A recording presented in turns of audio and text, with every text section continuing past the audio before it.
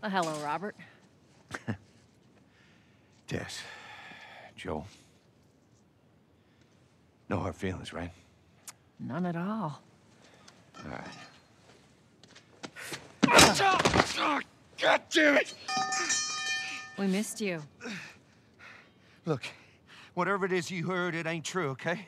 I, I just want to say... The guns. You want to tell us where the guns are? Yeah, sure, but it's complicated. All right? Hmm. Look, all right, just hear me out on this. I got Fuck.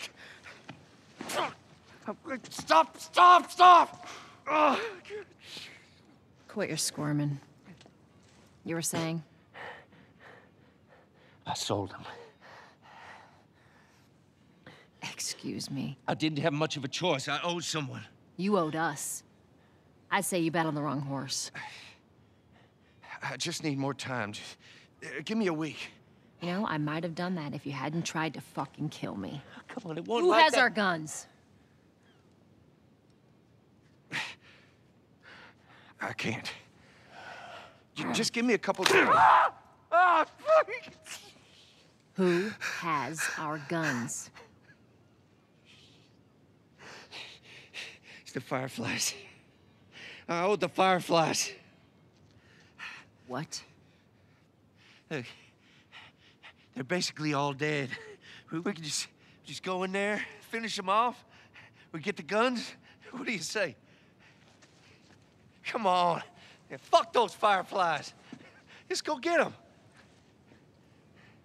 That is a stupid idea.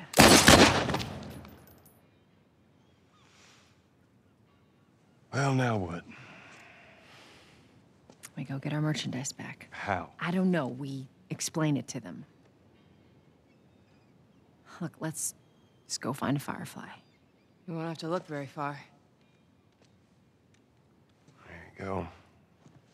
Queen Firefly. Why are you here? Business. You aren't looking so hot. Where's Robert?